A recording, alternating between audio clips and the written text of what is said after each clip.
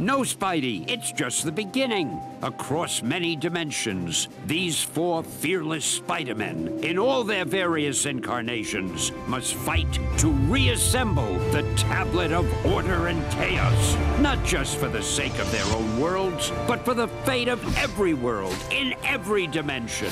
Good luck, web slingers. We're all counting on you. You've recovered the first quarter of the tablet. Excellent. I've always been good at scavenger hunts.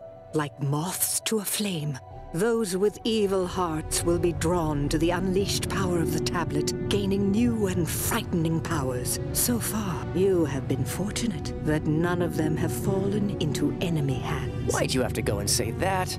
Man, what a jinx.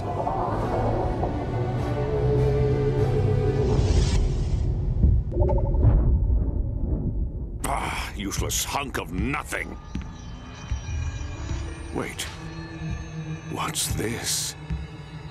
Ah, yes. Power. This is what real power feels like. No more parlor tricks and sleight of hand. Mysterio is now the master of real magic. And this is just the beginning.